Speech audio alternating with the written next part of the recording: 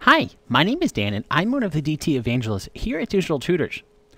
In this video, we're going to look at a question from one of our users, Z Studios, on how we can resolve an issue where adding subdivisions to a cube is causing it to give us some unexpected results.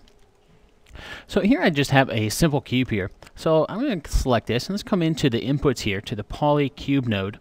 Now if I were to add in some subdivisions, say let's go ahead and add in something into the height we can see that it's kind of giving a weird result. And this is only going to get worse if I continue to add in subdivisions. We can see it's uh, really giving us some very unexpected results when we're doing a simple operation like adding in subdivisions. So why is this occurring? Well, the reason why this is actually occurring, I'm going to go ahead and undo this a little bit. Let's take a look at how this cube is made up. So if I were to come into my display here into polygons, component IDs and turn on vertices, this is going to show us the component IDs for these, these vertices that make up this cube. So we can see that there are actually eight vertices that make up this cube from 0 to 7. Now, um, if we take a look at how this cube is actually built, uh, we, let's actually come in and I'm going to come into a split view here so we can see this and then come into my hypergraph down here on the bottom. Okay, so uh, we can see that we have uh, eight components here. But then uh, let's take a look at the actual nodes that are building this cube. So once we understand better how this cube is built, uh, we'll get a better idea of why this uh, unexpected result is actually occurring. So we'll see this here a little bit better here in a little bit. Um, but if we notice we have the poly cube node, and that's the same node that we can find here in the channel box in order to adjust things like the subdivisions. And that's actually plugged in to the shape node. Now, the shape node is what's going to handle the actual shape here. So what's happening is if we have our components and if we were to actually adjust the position of these components and then come back and try to add in subdivisions using this polycube node here, when this, it, since this is plugged into the shape, it's going to give us unexpected results.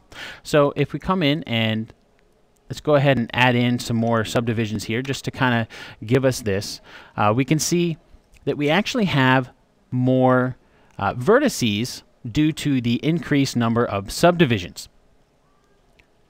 So basically what's happening is uh, we have our cube here.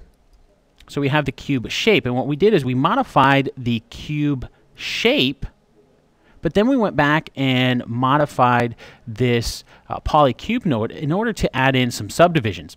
So this is propagating through and then actually creating the shape. But then when it gets to this, it says, uh, Maya says, hey, you went ahead and actually manually modified some of these components, but now I have uh, more components given to me from this polycube node and it's not really sure what to do with those extra components. And so that's what's giving us that unexpected result. Now we can really see this. I'm going to go ahead and delete that. There's one more example here and uh, let's go ahead and create a fresh cube. Now if I were to come in and modify the subdivisions for this cube in the polycube node, we can see that I'm able to come in and very quickly come in and add some subdivisions without having any issue. Now I can even come in and scale this. Let's say if I wanted to uh, come to my scale tool and scale this up a little bit and then come back in and add more subdivisions. I'm just uh, selecting this with my left mouse button and then middle click and dragging here in the viewport in order to add in some subdivisions.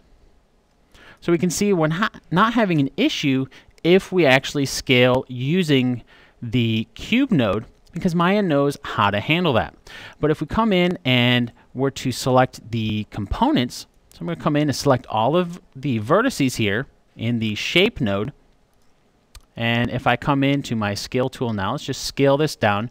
Uh, it's all being scaled uniformly. But now if I come back to my polycube node that's plugged into my shape node and try to adjust these subdivisions, take a look at what happens. We can see once again, we're getting these really unexpected results because we manually went in and modified some of the components. So anytime that we're dealing with, uh, or if we want to add in some subdivisions, let's go ahead and delete that and come back into our perspective view. Uh, create another cube here. And this works for pretty much any of the other primitive uh, polygon primitives as well. Uh, if we're working with any of these, we may have the ability to adjust the subdivisions. Now, if we want to actually bump up the subdivisions, we'll want to do that before we make any modifications to the components.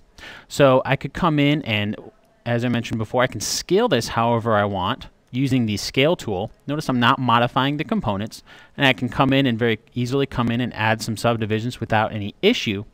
Uh, but we're not going to want to adjust any of the components and then go back and make adjustments to this polycube node within the inputs here because that's going to give us the unexpected results. So uh, let's just take a look at one more thing here. So let's say that we did come in and I already went ahead and adjusted some of these vertices here in order to adjust the components. So we know based off what we've seen so far, if I were to try to adjust these subdivisions, that's going to cause an issue. So how can I add in some subdivisions after I've already adjusted the components? Well, we're not going to want to use this polycube node, but there's actually a tool that we can use in order to do that. So let's come into our polygons menu set, go to edit mesh, and we'll use the insert edge loop tool. So with this, we can simply come in and left click and I'm uh, just have my left mouse button held down here so I can click and drag in order to position this. We can see we're able to add in these uh, subdivisions wherever we may want them after I've gone in and adjusted some of the components. So that's a look at why adding subdivisions after modifying the components can cause issues, as well as a look at how we can work around this by using the Insert Edge Loop tool. Now, if you want to learn some more great modeling tips, check out the Introduction to Modeling in Maya 2012.